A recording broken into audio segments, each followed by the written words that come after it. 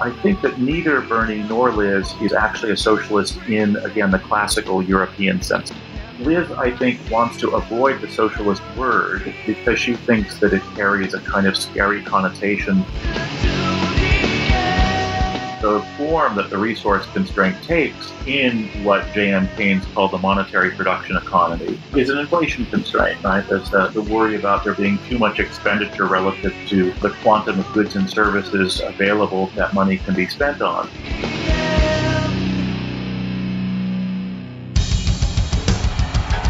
What I have said is that this campaign is not just about electing a president, it is about making a political revolution. MMT. Taking money from our children and borrowing from China. People are dying. Is the program so critical it's worth borrowing money from China to pay for it? And if not, I'll get rid of it. Stop lying!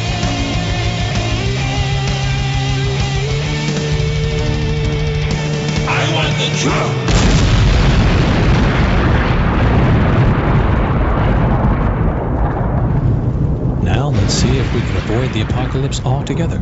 Here's another episode of Macro N Cheese with your host, Steve Grumbine. All right, this is Steve Grumbine with Real Progressives, and this is a new episode of Macro N Cheese. Today, joining me is Robert Hockett, who teaches finance and law at Cornell Law.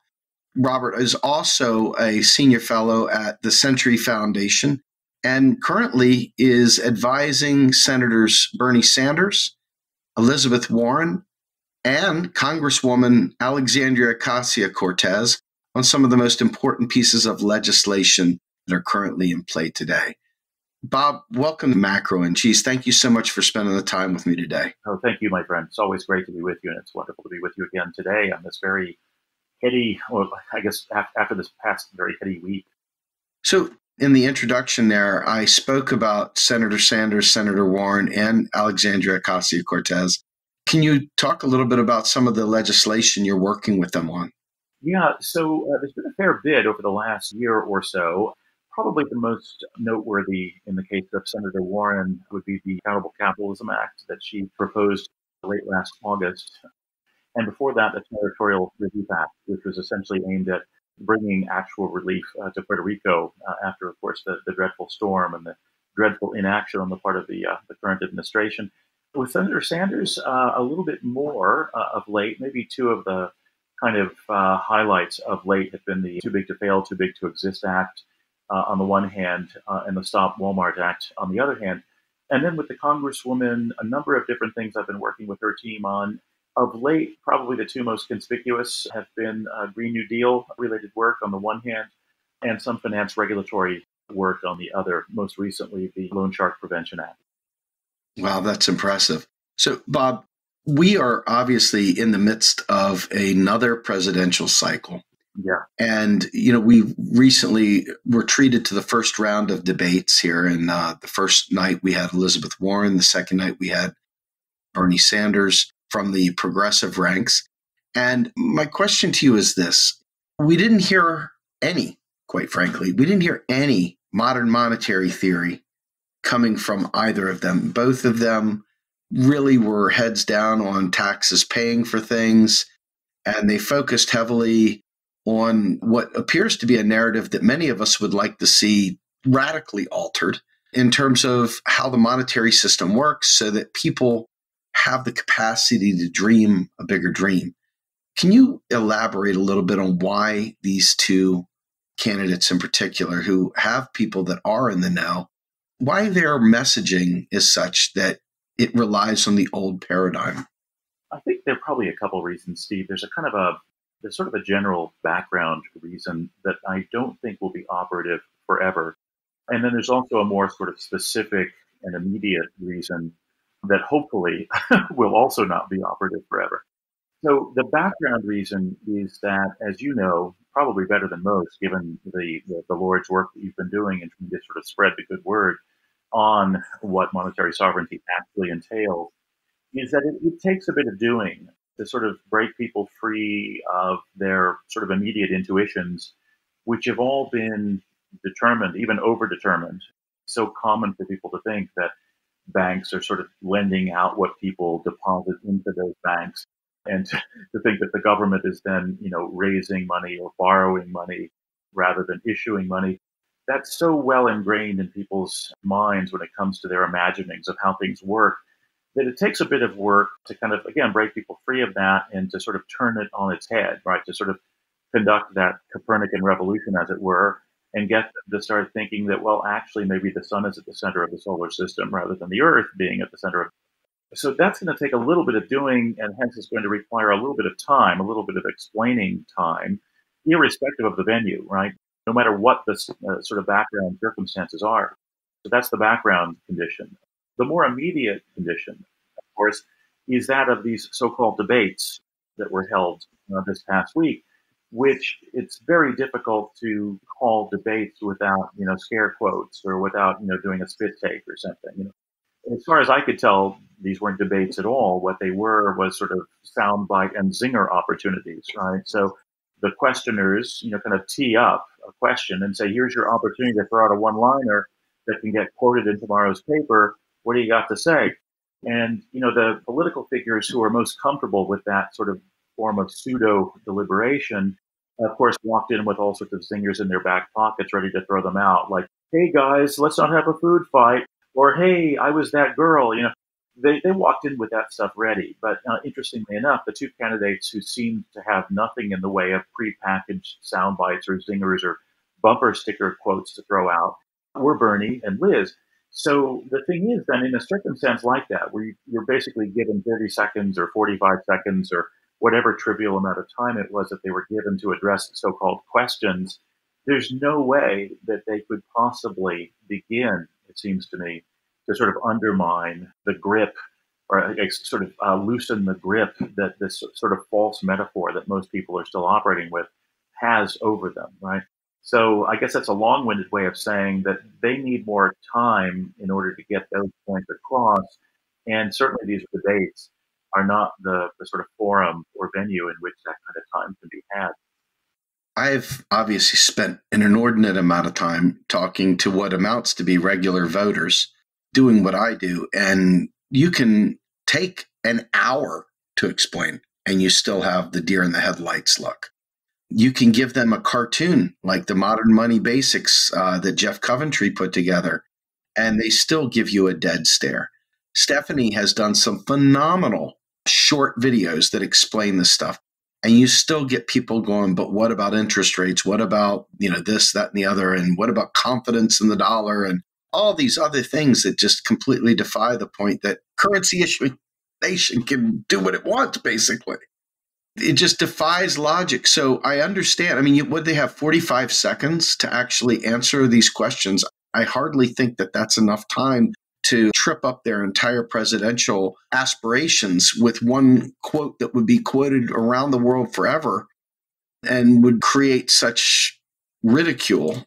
Yeah, that makes sense. yeah, yeah. I mean, you can just see it. I mean, you can just see the headlines already. You know, Bernie Sanders is money crank or something. You know, and or you know all those as you know uh, trump's strategy apparently if bernie becomes the nominee or should we say when bernie becomes the nominee is to sort of you know slap a new label on him or you call him crazy bernie. And if bernie has like 30 seconds to sort of drop the mmt bomb you can see it right away. You can see the headlines already. And krugman and all these others would be saying yeah you know he's crazy bernie and he's even he's, he's apparently an adherent now of this crazy money theory and just more money crankery of the same sort that emerged back in the mid 1930s you know.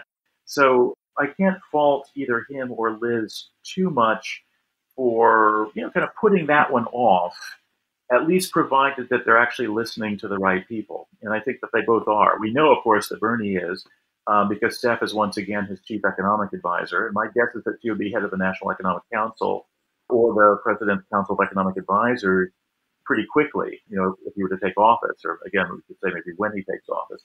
So we know he's hearing from the right person and the right people, and I think we can trust him to do the right thing. I believe that the same would happen if, for whatever reason, uh, Liz ended up being president rather than Bernie, or if Liz were to be president after Bernie, if they sort of run as Sanders Warren to begin with, and then later on down the pike, after two Sanders administrations, they become Warren Sanders or something.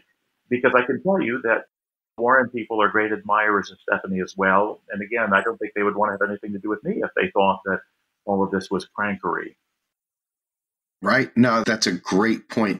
You know, one of the things that jumps out at me, and, and I want to get your take on this.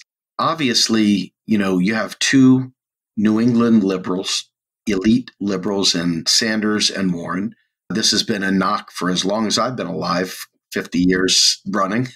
And, uh, you know, every time you hear the New England elite, I just wonder how a dual ticket of two New Englanders would play out in the typical politic that is, you know, American discourse at this point. And I also wonder this is the other concern I have that I think is, you know, it comes from my business background and the, the succession plan. You're looking to build an army, you're looking to build a legacy. And you've got two people that were born within a month of each other. It's not a month, but you know, they're close in age. Where is the lineage? Is this through our revolution? Is this just through the revolution that Bernie's already started and people like AOC. Where's the handoff to the next generation occur in such an environment? Well, I guess I think a couple of things there, Steve. Um, so the first is that you know it's, it's helpful for us to kind of keep mindful of sort of what is behind, who are the sort of false troops, you might say, or what was the army, uh, as it were, uh, behind uh, Alexandria Ocasio Cortez and behind Bernie, uh, for that matter. Uh, and then to remind ourselves that army is still very much uh, with us. So we're really talking about a lot of very well organized grassroots movements. The Sunrise Movement, of course, is one such. The DSA is another such. The Justice Democrats are yet another such. Our Modern Money Network friends and Real Progressives friends are yet another such. And the kind of wonderful thing about all of these particular uh, organizations is that a they are indeed organizations, right? They're very well organized and seemingly better so with every passing month. B they are you know growing still, and they are by and large populated by younger cohorts of people, right? People who are not in their 70s or even in their 60s and 50s, uh, you know, for that matter. So my first thought, I guess, in response to observations, which I think are quite quite apt, is that the really good news now this time around is that you know Bernie first and AOC second, and a lot of the other wonderful folk who were elected this past November with AOC are being kind of thrown up by this more sort of organic movement down below. And that shows no signs, it seems to me, of weakening or abating or compromising or thinning out or what have you. So I guess that's a long-winded way of saying that there's, you know, when Bernie eventually retires at the age of 140 or so, there will be, a, and when AOC eventually reaches, you know, the ripe old age of 35 and can become president, there will be a lot of late 20-something AOCs to kind of follow behind. So that's, I guess, the first thing.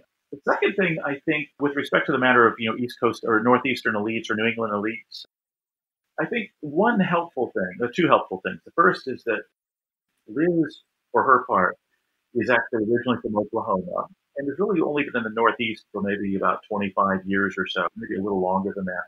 And she still, I think, sounds like an Oklahoman if you hear her accent. And I don't think she's code switching. I don't think she fakes that. You know, I've known her since before there was any evidence that she was thinking about politics, and she's always sounded like an Oklahoman. And it's, it's amazing to me how many people still don't know that, you know, she went to community college first and she went to a non-elite law school, right? And then she taught at a non-elite law school, and she basically made her way up to Harvard simply on her own merits because she's just so smart and so devoted to the causes that her legal scholarship was all directed toward.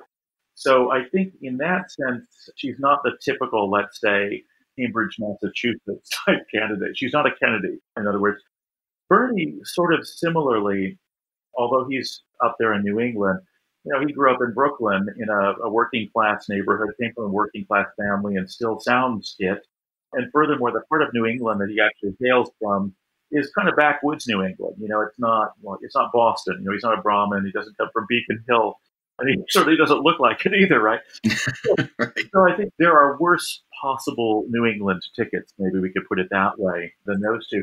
Another kind of cool thing is that Bernie's actually about almost exactly eight years older than Liz. You know, she just turned 70 within the last week. So, and I think Bernie is either 77, poised to turn 78, or has recently turned 78. So, you know, to my mind, what, I immediately think, which is again probably a bit quixotic and again maybe sort of stupid and boring too, but they think, wow, eight years. All right, so Bernie can be president for eight years and she can be vice president and then they can flip it, and she can become president when she gets to be Bernie's age now. And, be, and by that, the stem cell therapy technology will be developed so thoroughly that we'll all have 200 year lifespans. And so Bernie and Liz will be in great shape, you know, to kind of handle 16 years. We have to do a minor amendment to the Constitution because you can't actually be uh, vice president. I don't think if you've uh, if you've been president for eight years. Uh, so we had to do a little tinkering with the Constitution to allow that, but I'm being halfway, you know, kind of whimsical here anyway. Um, you know, another possibility, of course, is that AOC herself uh, runs. She'll be old enough under constitutional terms as of 2024. Um, if we wanted to be quote unquote seasoned enough, maybe she waits till 2028. We'll see. And of course, we'll also just see how many more AOCs we get uh, in the coming elections, because my impression is that we've got a, a lot more uh, in the making. That's great. So I guess I want to bring up another question here, and I would be remiss in not at least, you know, coming to you with a somewhat hard question here. In that, you know, a lot of folks that supported Bernie in the last election really do have some hurt feelings with Elizabeth Warren. What seemed to be her silence when she could have tipped the scales in his favor. There was some opportunities like with the uh, Dakota Access Pipeline where she kind of stayed on the sidelines. There were other opportunities as it came to Flint, Michigan, and the water. It just seemed like there was some real opportunities there to solidify.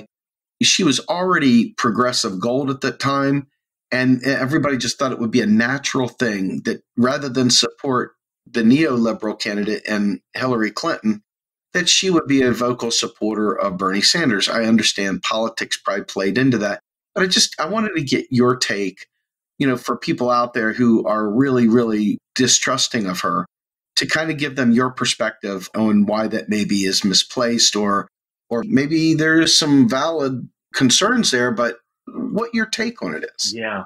So I would be, I think, being dishonest if I didn't say that I share the concerns up to a point, right? That there's a, a little bit of residual, I guess, concern in my mind about maybe how you know purely Bernie she might be. But that being said, and of course, as you know, to of, you know, we talked about metabolic optimism before. I think a corollary to that is a kind of um, a readiness to sort of adopt the most charitable interpretation of an action or an inaction, at least until it no longer is plausible to harbor it. So my thought about 2016 is that, in a certain sense, it was kind of cool that she actually remained neutral rather than endorsing Clinton until after you know Bernie had endorsed Clinton, because you know at the time it must have looked to her as it probably did to all people who were already in the Senate at that point that the Clinton machine was unbeatable and that you know if you cross it it's going to sort of devote itself to you know kneecapping you for the rest of your political life and so forth. And so it wasn't altogether clear to some people, at least, that Clinton was doomed and that Trump would beat her and that only Bernie could actually beat Trump. And to those to whom that wasn't clear, um, I could sort of see why there might have been a thought, well, okay, I'll just stay neutral until the nominee is chosen. And then I will, you know, jump aboard and help Clinton to win. Now, you know, so I think that probably the calculation that was made there. And it's hard for me sort of to declare like categorically that that was the wrong choice or that it was a reprehensible choice. That being said, I can tell you what my brothers were and what I think that a truly savvy advisor would have advised Liz. And that is that, look, in you know, 2015, 2016, you are gold. And remember, Warren was gold. I mean, everybody, all the progressive loved her. So if she had indeed cast her lot with Bernie, I think it would have been all but certain that the two of them together would have taken the nomination. I think that they would have won it. I don't think Clinton would have won it. I don't even think that the Clinton superdelegates could have stopped that. There would have been such a head of steam behind that. And insofar as that's the case, I think that her caution about, you know, trying not to alienate too quickly the Clinton people who might be able to, you know, destroy your political career was probably more timid than it had to be. But again, that was just my gut, and that was, I guess you could say it was my informed gut. But you know, they had a lot of polling data too, and they came up with a different, you know, sort of answer to the calculation. One thing I think we know for certain is that Liz did not refrain from endorsing either side in 2016 owing to any particular loyalty toward Clinton. You know, there's that wonderful interview with her that's up on YouTube from back in the early 2000s, where she's quite roundly denouncing Clinton for the role that she took in getting that so called bankruptcy reform legislation yes. through Congress. And Liz never said, oh, that was a youthful indiscretion, or I, I hereby repudiate, you know, that attack, or oh, I was shooting from the hip there and I was wrong. I mean, she's never turned her back on that statement and on that interview, which is, you know, floating all over the place. So I don't think there was any sort of special like desire to kind of help out Clinton or any hope of being appointed to anything by Clinton either. So, you know, I think it was just a different call that she made. And it's not the call I would have made. And of course, it's not the call that you or most of our friends and allies would have made. But I do think there's at least a plausible explanation for the call that she made that sounds in something other than bad faith or cowardice. Right. This is going to be a step above the last question. It's going to be a little tougher, but I think it's a fair question. When Donald Trump came out in his speech, State of the Union speech, and he spoke about basically killing socialism, Liz Warren took to the took to her feet and applauded. And there's a picture as clear as day, Bernie Sanders sitting down square with his arms crossed and Liz standing there giving him an applause that right there is probably the loudest voice a progressive could say without opening their mouth. I don't know what to do with that. I still don't know what to do with that. Yeah. Any thoughts? Yeah, I'll tell you what I do with it. Um, and then, you know, again, this might just ref- this might uh, be a matter of sort of differing strategic or tactical judgments. So I think Liz and Bernie have two different views as to what is the best way, tactically speaking, to deal with the so-called socialism label or the socialism tag, right? So Bernie, I think, is actually probably more of a kind of FDR New Deal Democrat than he is a kind of classic European socialist. And that's why he says I'm a democratic socialist rather than I'm a social democrat, which is the the European term for a socialist. And Liz has a somewhat different tactical take, let's say terminological tactical take on this. Her claim is that, well, look, what we're talking about, including what Bernie's talking about, is not actually socialism. It's rather a kind of accountable capitalism. It's a kind of socially responsible capitalism. Now, many people think that that's not itself possible in the long run. Marx, of course, himself didn't think it was possible in the long run. Neither did Engels. And I have to say, I myself am skeptical about whether it's possible in the long run. But here's where I think is the key point for the moment. It's that I think that neither Bernie nor Liz is actually a socialist in, again, the classical European sense of socialist. So the question then becomes well, what do you call yourself? Liz, I think, wants to avoid the socialist word because she thinks that it carries a kind of scary connotation that makes it too easy for Trump then to make his case. And so if he were like sitting down with her arms folded like Bernie, she's probably imagining that the Trump people show this and say, you see, she is a socialist. And she wants to deny them that capacity by being able to say, look, I am a capitalist too. I'm just a different kind of capitalist than you people are. I'm a 1940s style capitalist, which was a much more humane form of capitalism. And that, I think, represents a different tactical, again, choice than Bernie, which is to go ahead and own the socialist label, even though he's not really that socialist. And, and I think it, one can do that in good faith, it seems to me. Now, I myself, I think, would prefer something like I would probably say, if I were in place of Bernie or Liz, let's say there's a third possible candidate who progressives, some progressives like, and let's say it was me, not that that's possible, but imagine that were me. I'd vote for it.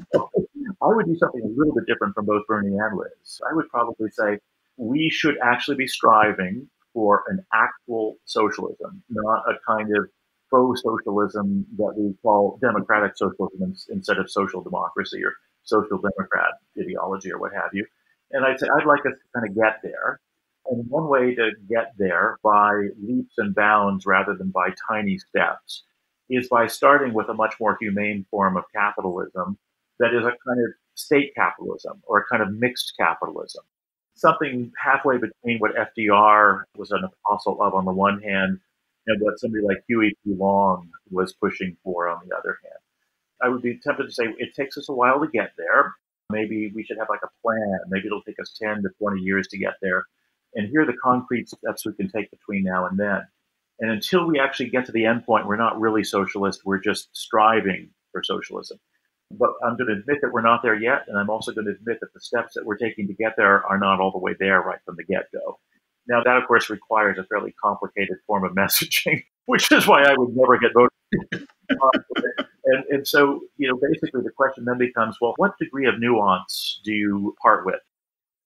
How much nuance are you willing to sacrifice in favor of slogans in order to actually to get some traction?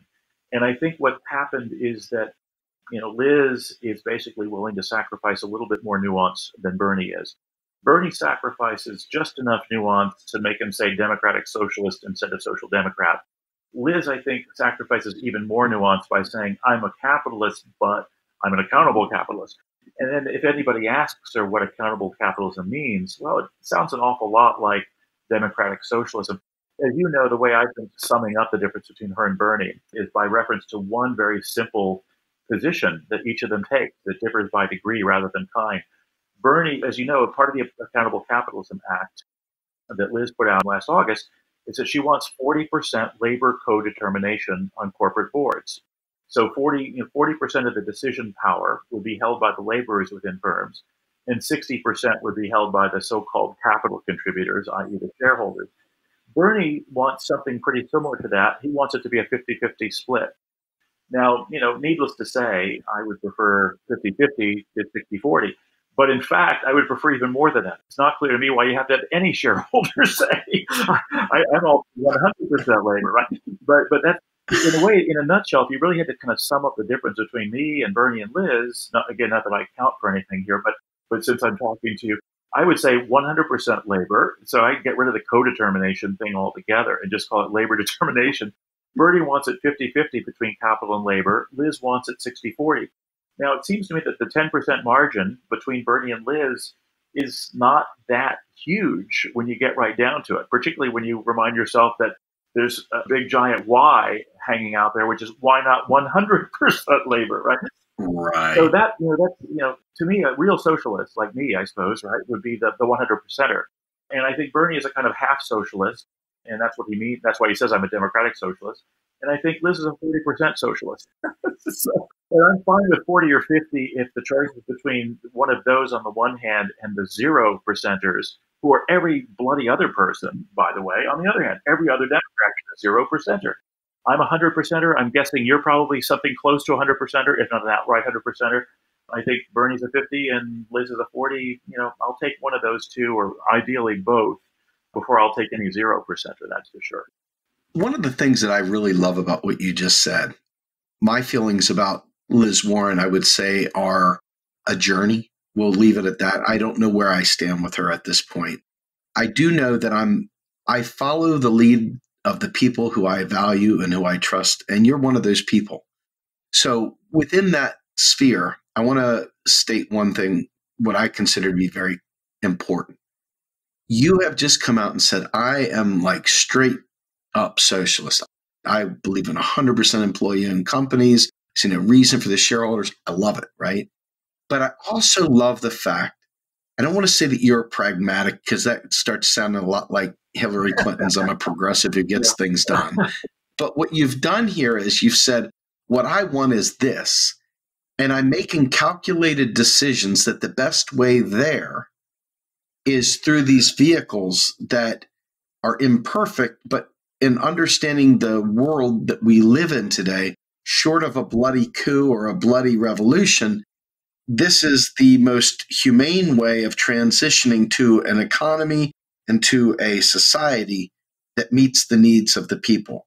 Would you say that that's an accurate summary? Yeah, I think that is. I think it's a fair summary, Steve. I, I would only add the caveat just as a way of ensuring that I don't get confused, mixed up in minds with the, the so-called third way tied to the 90s. That I would want there to be a kind of, uh, I would want there to be a target date, so to speak, kind of like we're doing with the Green New Deal, right? We're saying, okay, 100% carbon neutrality within 12 years, no longer. I think there's nothing more galvanizing than a target date. And then also commit then to sort of working out the specific concrete steps that you're going to take every month or every year over that, say, 10 to 15 year period that you'll call the transition period. Then I think it would be fair to call me practical or pragmatic. I'm sort of practical or pragmatic, but only insofar as there is a very specific and concrete aim and a timetable for getting to it. See, you're speaking to my heart here because my career is that of program and project management. And everything that I do, from whether it's organizational change management to technology, it always has built in a just transition, which is something we're hearing a lot about with this Green New Deal and enabling jobs for those who would be displaced by disruptive technologies and disruptive energy sources, et cetera. But what I'm hearing you say, which again is very vital, we're setting deadlines, we're putting milestones out there, we're building a plan, we're laying out the requirements, and we're getting to the end and we're tracing back to make sure did we meet our requirements? Is this what we're trying to do? And I think that people would be well advised to consider that anything that doesn't have a plan is a plan to fail. And what you just laid out there to me is a really, really brilliant summarization of some of the things I think people need to be aware of as they put both Liz and Bernie and anything else that comes across our table, the news headings, anything. When you read them, read them with an understanding of where we are today versus where we're trying to go and the steps it would take to get there. That's my take. I really believe that's vital in anything that we do here. I think that transition is always left out in the discussions. People ignore it. They want immediate gratification. They don't realize how important it is to make people whole as you change their lives. Yeah, I, think you could even say that it's tempting for me to sort of adopt a really slightly oversimplified sort of three stage gradation of, uh, or, or three stage ranking of seriousness, right? So, probably the most serious people uh, are those who, like you and I are doing right now, you can call them, you know, sleeves really rolled up people, not fake sleeves rolled up people like Biden who rolls them up to look like he's working. So, but I mean, people who really are serious, it seems to me, give timetables. They have target dates. They have, you know, basically timetables, and they say, look, here's what has to be done at each particular step. I think the second most serious, or the actually the second least serious, let's say in the middle, are those who say, oh, I view it as aspirational or I like the concept, right? Was it Kaptur? I mean, sorry, was it um, was it that Klobuchar or somebody who said, "Oh, the Green New Deal is aspirational"? That's a real sign that you know you've got a real problem on your hands. And then finally, the worst are those who you know basically don't say anything at all. You know, we just basically don't even view it as something that should be aspired to. Or, or but to me, I mean, as soon as somebody uses the word aspirational or they say, oh, "I like the concept," I mean, that's just a big red flag. That's just saying, oh, you know, I want you to think that I'm with you, but I'm not really prepared to commit to anything or make anything happen. And it's just another variation on the talk is cheap idea, you know.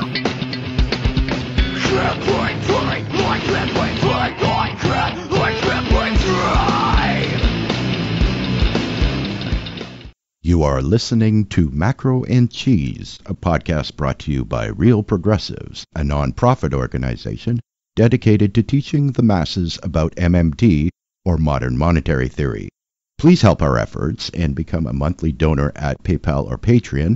Like and follow our pages on Facebook and YouTube, and follow us on Periscope, Twitter, and Instagram.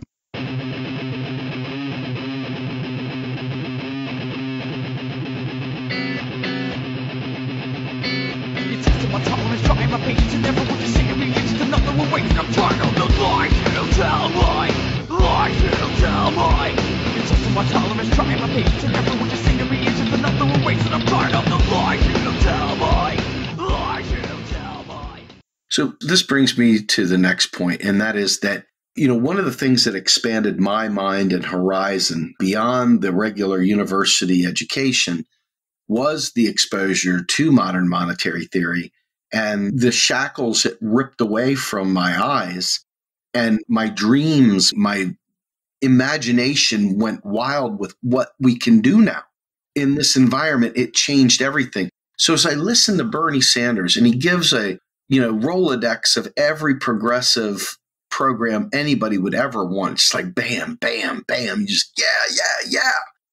And then you realize that people are still thinking pie in the sky because of they don't understand how we're going to pay for it. They have no idea how we're going to pay for it. There's still people out there who have heard this message a million times that are still asking how we're going to pay for it. This is a very, very big deal, the how we're going to pay for it thing. You wrote a great article in Forbes basically breaking out, you know, how to pay for it is not a thing. It's not really a thing. Can you talk about that for a second? Yeah, sure, sure. Um, so you know, the point is sort of twofold in that in that piece, and I have to, you know, by the way, if, if one needs a cause for optimism, I suppose the number of hits that that thing has drawn is one cause for optimism. It's somewhere around 80,000 hits at this point, which is totally flabbergasting to me. I never would have expected that. I mean, the typical number of hits I get, you know, as you know, I put out these Forbes columns every week or so, and I think the average number of hits after a month or so is probably around 5,000 or something at the most. But in this particular case, it's close to 80,000. It's just under 80,000. And that seems to me to suggest that it touched a nerve, that there is indeed interest in this question, which I guess means that you and I have some reason to be hopeful, right? That, that the message can get through. So that's the first point, maybe. The second point, then, I suppose, is yeah, what is the thrust of the piece? Well, it's, it's sort of a two part thrust, right? The first thrust is the familiar point that you and I and our friends are often making, which is that, yeah, there are constraints. Yeah, you can't get something for nothing, but you know, it's crucial to sort of identify correctly what the constraint is or what the constraints are. And as you and I know, the constraint is the resource constraint. It's a matter of, you know, what capacity do you have? And the capacity has to be understood in material terms, not in pieces of paper terms or keystroke terms, right? Because there is no practical limit on you know the amount of paper that you can put out or the number of keystrokes that you can click or what have you, right? So the first point is just to make that point, which is again a very obvious point to people like you and me, but and to our, our various friends in the movement, but isn't so familiar to some folk who are still in the grip of orthodoxy.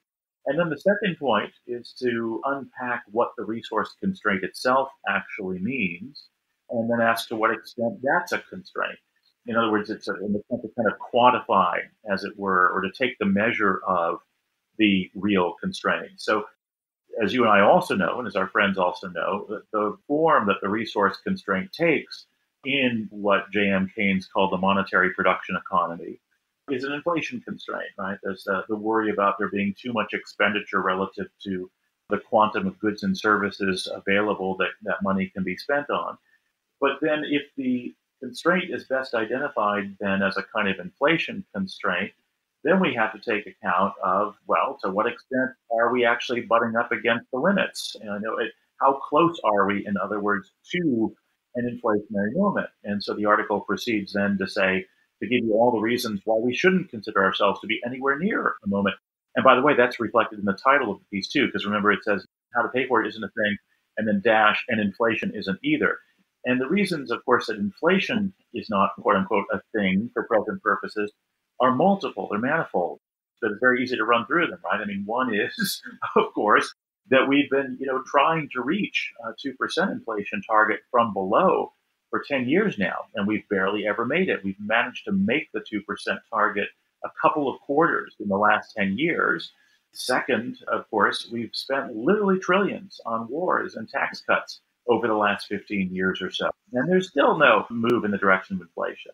Thirdly, right, there's the fact that we have lots of independent evidence that suggests there's a great deal of slack still in the economy, a great deal of capacity underutilization, notwithstanding these uh, sort of ersatz unemployment numbers that we keep getting from the BLS, which of course don't really measure actual unemployment of the sort that matters. And then in addition, there is the fact that the Green New Deal expenditures would be productivity enhancing measures, meaning in turn that you would actually be growing the quantum of goods and services out there with the money supply. And that's really what counts when we're talking about inflation, because inflation, as I like to say to the nursery school kids, inflation is a relation, right? It's a relation between the quantum or the velocity of money on the one hand and the quantum of goods and services that can be purchased on the other. It's the relation between those two quantities. And so if you're growing the goods and services supply with the money supply, then you're in effect acting in a deflationary way at the very same time that you're acting in an inflationary way. And the two things cancel each other out. And then finally, as if all of that weren't enough, we have a huge number of macroprudential finance regulatory tools at our disposal to deal with inflation in the highly unlikely event that it were to come out. And this is what I teach, right? I mean, I teach financial regulation and have been teaching it for the entirety of my time at Cornell. And financial regulation, which sadly most finance regulatory people don't seem to understand, is all about basically modulating credit money aggregates in the macroeconomy. Basically, anytime you hear about capital regulation or what's also known as leverage regulation, or anytime you hear about reserve requirements, or anytime you hear about loan to value ratio requirements, or debt to income ratios, or the like, anytime you hear about macroprudential finance regulatory tools of that kind, you are really hearing about monetary policy tools too. And the unfortunate thing is, again, most experts on finance regulation don't seem to understand that on the one hand, and most monetary policy experts don't seem to understand that on the other hand. And that's in the end, is because they don't understand what money is. They don't understand the credit nature of money. And in my view, one of the greatest services that our friends in the MMT movement have done is to sort of emphasize that sort of credit basis of money, right? Um, you don't even have to be an MMTer to kind of understand this much, right? That at the core of it, money is credit, it's a credit relation. And once you understand that, you have kind of at your disposal everything that you need to understand why it is that financial regulation is itself a form of inflation regulation. And hence why it is then that as long as we have not only a Fed, but an FSOC and an FDIC and an OCC and a CFTC and an SEC, and I could go on and on with all these C's. If we have those things, we have everything that we need uh, to, to sort of make sure that inflation never does become a problem in the very unlikely event that it were to begin to sort of threaten to become one. But as you know, people who want you know more detail and more nuance, of course, can just go and find the Forbes piece. But that's essentially what the Forbes piece is trying to convey. Very, very good. So with that, it kind of leads me to the next and final tie up on this. And that is that, you know, obviously the economy is not working for regular people today. It just isn't. So you see a lot of people trying to work different angles you know, we talk about the Federal Reserve. People are concerned about the Federal Reserve. They don't really fully understand what it does. They're also concerned and looking for ways around the government. And you see them looking at digital currencies, cryptocurrencies. You even have Facebook now trying to come out with Libra, working with various folks across the industry space to bring about this digital transaction tool. I've been told it's likened to PayPal can you talk, I guess, a little bit about the role of the Federal Reserve and some of the concerns the regular people have in terms of how the economy is working and then why things like Libra keep coming up? Kind of put it in its proper. Place. Sure, Steve. That's a great question. Um, so maybe let's start. Let's how about we sort of telescope from the more general to the more particular. So starting with the more general, you and I were talking just a moment ago about credit aggregates and how that's the key variable. That's the thing to kind of keep an eye on when we're thinking about inflation. If we add just a little, just one layer of nuance to that, what we would note then is we would basically note the following. Somebody has to be modulating credit aggregates. That's to say, somebody has to be overseeing the total quantum of credit out there in the economy relative to the quantum of goods and services that credit money can purchase, right? Now, strictly speaking, or technically speaking, that's what we want the Fed to be doing. That's sort of what a central bank or a monetary authority typically is. Um, maybe more accurately, one would say that the entire group of, the entire college or ensemble of financial regulators, including the money regulators like the Fed, are all together working on modulating basically the credit aggregates out there in our economy as a whole. But now, if we add one layer of nuance, what we would say is that look, it's not just about modulation of credit aggregates, it's also about the allocation of credit aggregates. that you know the reason that you know people were able on the one hand in the early 2000s to say that we're in the midst of a great moderation with no inflation and out of the other sides of their mouths say we have a bubble in the housing markets is precisely because the allocation matters. In other words, we did not actually have zero inflation during the so-called Great Moderation. We simply had hyperinflation in one particular market, the housing market, which then over time bled over into other adjacent markets, like the market for mortgage related securities, and then like the market for derivatives that were associated with or that basically used as their references underlyings that were mortgage related securities. So we had a hyperinflation or hyperinflations in those markets, even while we had deflation underway in the so-called real sectors of the economy, especially the real goods and services sectors, uh, ignoring commodities for the moment. So allocation is a critically important function as well. And indeed, if you don't get the allocation right, you're not going to get the modulation right. You're not actually going to be adequately modulating credit aggregates unless you're adequately allocating those aggregates too. Now, what does that mean for your and my purposes? Well, it means, among other things, that the public really ought to be taking a much more active role in directing credit or credit money to those sectors that actually need it. To, for example, people who don't have access to banking services or to credit or to financial services of the garden variety sorts. They also ought to be allocating more credit toward startup businesses that individuals are starting up rather than, you know, Silicon Valley types. You know, in other words, allocating credit to small businesses that you or I might be trying to create, or rather than those that Elon Musk is trying to create. So that allocation question is crucial. And I think that one reason that some people are interested now in community currencies and community cryptocurrencies or various forms of what we might call fringe banking and, and the like is precisely because underneath it all, they understand that there's something tremendously mucked up about our credit allocation system, right? So that's the second thing to say. So the third thing to say then is, all right, well then, are the schemes that people are countenancing or proposing, are they the answer? Are they do they fit the bill? Do they handle the financial inclusion problem or the misallocation problem or the it takes money to get money problem? And I think the answer to that question is quite clearly no, they don't. They don't even come close. Uh, and so then the question becomes, well, what would, what should we do? So let me say just a couple of things about what I think we ought to be doing, and then what that would mean for what is currently on offer. Okay, is that a suitable way to proceed? Absolutely. So it, it seems to me uh, that we ought to have at least one entity that is essentially a public entity that channels capital forthrightly to those who have need of it and who can put it to productive use. Because this capital is basically a common resource. It's essentially a public resource. What we're really talking about here is the monetized full faith and credit of the United States. It's our collective credit, in effect, is what it amounts to. And so it's odd to me that we don't have a collective agent that is actively involved in trying intelligently to channel our collective public credit in productive directions, right, that enable all of us to lead more productive lives and to build more productive lives. So, what would that look like and what would that mean? Well, one thing it might mean is let's say that you and I, Steve Grumbine and Bob Hockett, decide they want to start a business and they need some capital to get started.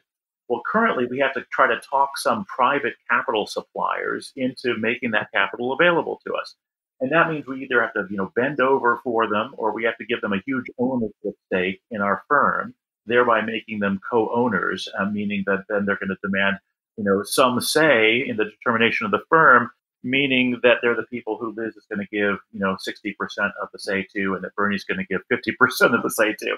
But if they were a public entity that was ready to channel that credit to us if we had a good business plan, we wouldn't have to bend over for any private party. And there wouldn't be any need to say, oh, let's give private capital suppliers a 50% vote or a 60% vote. We would just do it all ourselves and we would simply borrow the money from this public entity or make use of this money that was granted us by this public entity to start our business. And all we would do is, again, we'd have to show them a plausible business plan, that there's some reasonable likelihood of success, so on and so forth.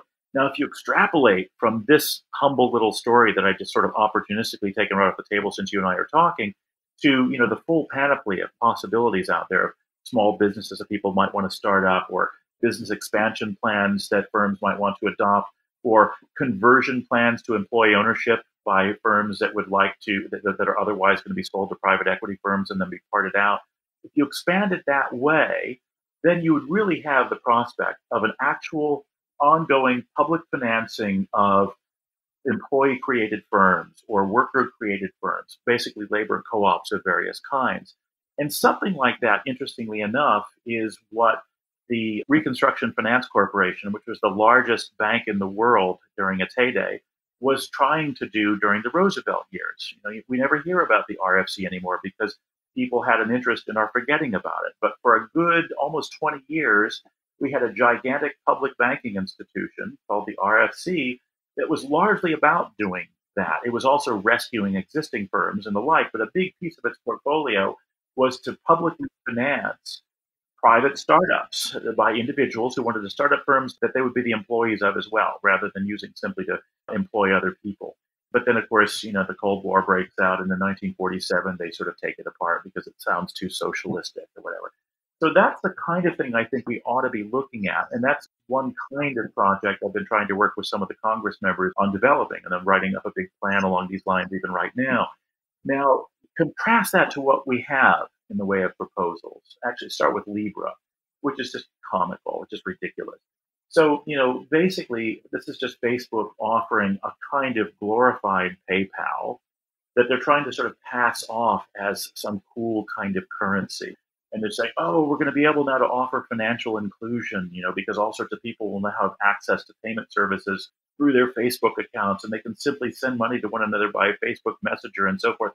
Well, yeah, that's great. I mean, they can do that with PayPal already. And of course, if they were Chinese, they'd be able to make payments off of their phones for everything already, because of course, almost the entirety of the Chinese population uses their iPhones or their smartphones to do payments. And so that's fine as far as it goes, but it's a joke to think that that's a currency, that what Libra is offering is a currency, or that it's actually a way of getting more capital into the hands of more people or what have you. What would actually do that? I think that the way to do that is partly through the kind of institution that I just mentioned, and then have that accompanied by one additional innovation. And that would be to have every citizen have a right to having an account with the Fed. I call these citizen accounts. So you and I at birth would now have a Fed citizen account. So as you know, currently the only entities that can have Fed accounts are banks and a few other financial institutions that the Fed is willing to treat as if they were banks. And so when the when the Fed conducts monetary policy, let's say it wants to counteract a deflation, a debt deflation through expansionary monetary policy, and let's say it has to innovate with new forms of this, and so it starts something that it calls QE, and then it calls QE1 when it comes up with a QE2, and then it calls QE2 QE2 when it comes up with a QE3. Well, the thing about most of those innovative strategies that Bernanke sort of helped pioneer was that they still relied on private bank middlemen, right? The bank says, well, we want there to be more credit getting out to the Steves and Bobs so that they'll start up their businesses. And so let's just make money cheaply available to banks, and then we'll pray. We'll get on our hands and knees and pray, like Hank Paulson did to Nancy Pelosi, that the banks will then see fit to lend money to, to Bob and Steve. Instead of doing that, why not just cut out the middleman and say, hey, Steve and Bob have uh, Fed account, you know, they have citizen accounts here at the Fed. So we, the Fed, will simply credit their accounts. We'll do a helicopter drop in the Minsky store, or we'll do a kind of a direct infusion, uh, basically, of money uh, to Bob's and Steve's accounts so that they'll spend some of it instead of hoping that the banks will do it and then be confronted with a pushing on a string problem. That's, I think, a much better way of doing things. And then let's say the opposite happens. Let's say that you have inflation beginning to actually to loom. Uh, not that that's likely to happen, but if it were to loom, now the Fed has a much more potent repression tool as well. It simply offers interest to you and me on our accounts, and it raises that interest rate to incentivize us to keep more money in our accounts and spend less. So that basically sucks a certain amount of spending out of the economy and puts then downward pressure on the inflation rate to counteract whatever upward pressure is building up on that rate. In other words, you'd have a much more potent, because a much more direct monetary policy tool. And if you combine, it seems to me, a system of Fed citizen accounts with a new public entity, which would be a latter day version of the old Reconstruction Finance Corporation, I think of it as a kind of a national investment bank You combine those two things together, and you have then a much better form, it seems to me, of credit modulation and credit allocation than we currently have. And now you'd actually have a monetary system that would be operating first in keeping with what our friends in the MMT movement have been telling us is the case, and which would then operate in a much more just manner than our current system, which pretends that only private parties are fit to allocate our public credit, on the other hand. Does that sort of make sense? Absolutely. I didn't want to interrupt you because you were on a roll. This is beautiful. One of the things that I, I guess jumps out at me in all this is the fact that there's obviously a reason why people are ferreting around for mm-hmm. these things.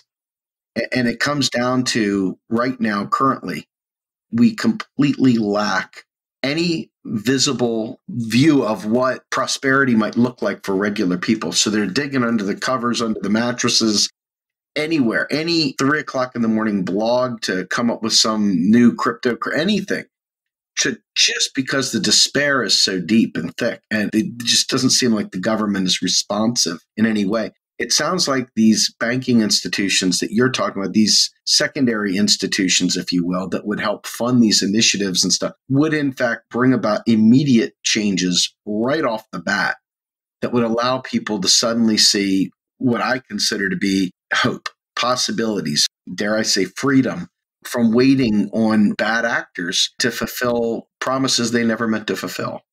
So, in that sense, I see this as a tremendously optimistic view. Yeah. It's a great vision. But what do you think is the chances of us being able to enact something like that? Do you see that in either Bernie or Liz? I mean, I know obviously the idea of having Fed accounts is something I've heard from various people. Warren Mosler has even raised something about that at a different time. You're in good company there. What do you think of the chances of such things happening? What kind of air cover will we need? What kind of marshaling of resources will we need to get something like that even into the sphere of possible? So, um, if we start with the idea of a kind of national investment bank, again, a, a kind of a latter day version of the RFC that I mentioned first, there it's already in a certain sense underway. So, one senator who you love very much, another senator who I think you are at least prepared to countenance. And yet a third senator, whom I haven't even mentioned yet, all three of them are very interested in this and have been asking, I've basically been working with to try to develop a version of it for them to use. So that is something I think that we're very, very, very close to, right? When even not just the two best but even what I'll call the third best in this, because she signs on to this idea, is interested in this, I think that there's, there's great hope. Now, when it comes to the citizen account idea, here too, I think there's great hope for sort of two reasons. The first is, as you doubtless know and have noticed already, central banks worldwide are in the midst of sort of upgrading their payment system. Right? One of the things that the central bank or monetary authority in every distinct national jurisdiction has charge of is the national payment system.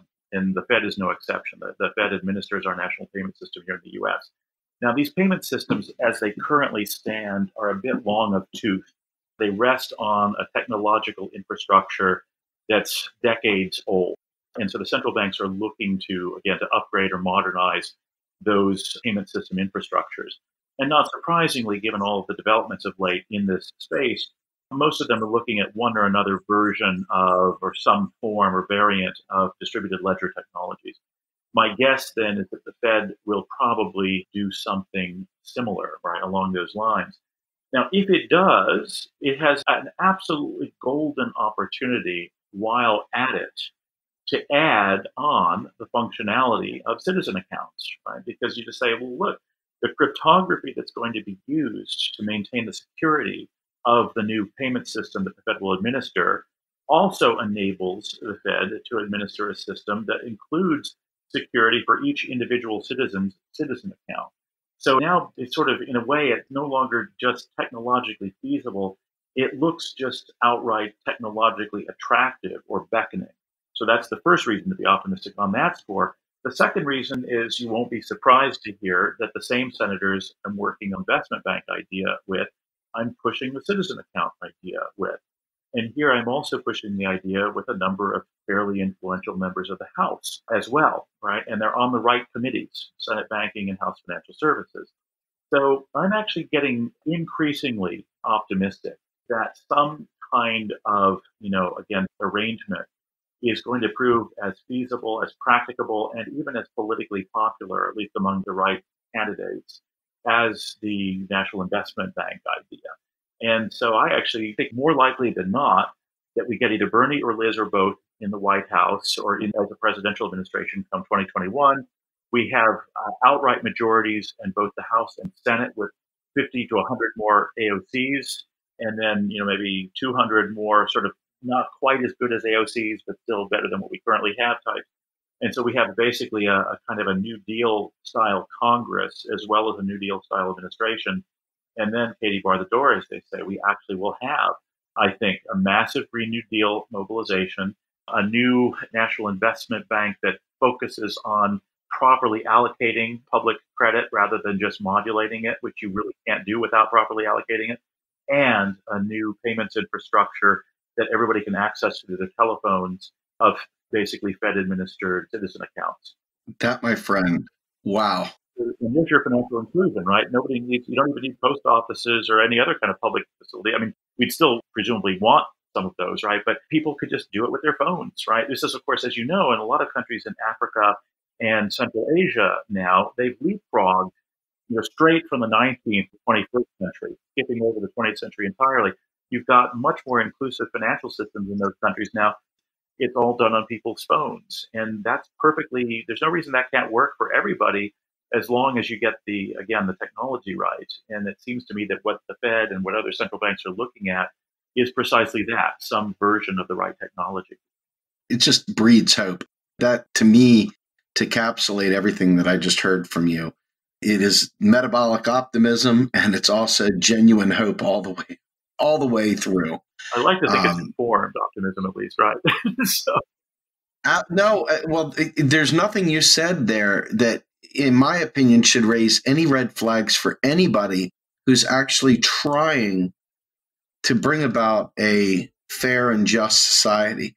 And more to the point, I think that it should help provide some energy to a movement that I feel has been kicked in the stomach so many times and they're almost living in a perpetual state of waiting for the other shoe to drop that I think it diminishes some of their efficacy in terms of not only activism. I know it impacts me. I know I start going into the negative territory because I start seeing the uninformed voices more loud than the informed voices.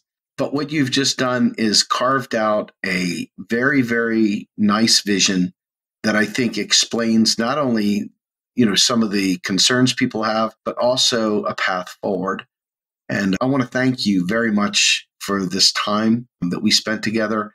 I look forward to seeing you very soon, and hopefully, we'll get to spend some time together at the third annual Modern Monetary Theory Conference and with that, Bob, thank you so much for being a supporter of Real Progressives and, and our work here. We really appreciate you. You're a very, very loved and revered man. So thank you for everything thank you, you so do. much, Stephen. The, the, love definitely goes both ways. And um, and just in case you didn't know, I always learn a ton through these conversations you and I have too. So I always come out of this, I think, a better informed and uh, more thoughtful human being than I was entering into them. So thank thank you, and again, thanks for you know basically doing the Lord's work, getting the getting the word out to so many people.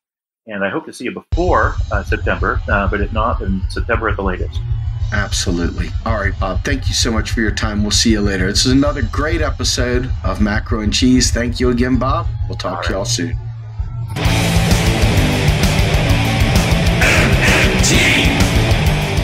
Macro N Cheese is produced by Andy Kennedy descriptive writing by Virginia Cox, and promotional artwork by Mindy Donham.